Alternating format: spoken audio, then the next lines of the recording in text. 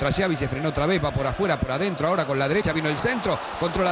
la saca Sissoko al revés, gol de Ferdinand, patía Ferdinand, de zurda al arco, qué golazo, ¡gol!